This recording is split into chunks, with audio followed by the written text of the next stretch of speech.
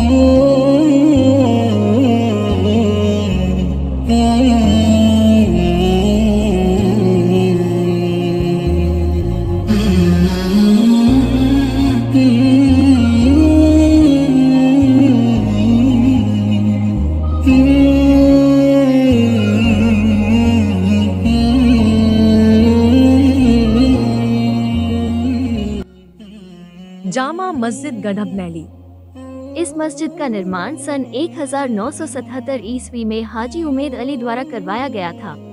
यह मस्जिद गढ़बनैली बाज़ार का सबसे पुराना मस्जिद है। वर्तमान में इस चौक का नाम मदरसा चौक के नाम से जाना जाता है। यह मस्जिद गढ़बनैली रेलवे स्टेशन से पूर्व करीब 200 मीटर एवं पश्चिम में एन एच सत्तावन से करीब 100 मीटर की दूरी पर स्थित है। इस मस्जिद में ईद उल फित्र, ईद उल अजहा एवं अलविदा जुमे की नमाज़ अदा की जाती है। और आसपास के लोग इसी मस्जिद में पाँच वक्त की नमाज़ अदा करते हैं। अभी वर्तमान में इसमें इमाम साहब के रूप में बहादुरगंज के मोहम्मद शहनवाज आलम को मुकर्र किया गया है। इस मस्जिद की देखभाल हाजी नगर के फैजाने मदीना कमेटी के लोग करते हैं।